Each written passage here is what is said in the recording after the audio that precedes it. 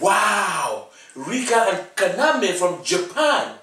Double wow! Mio from Korea. Otaku Festival will be so awesome this year. I cannot express the euphoria I'm experiencing right now. I feel like a kawaii neko waifu again. See you there.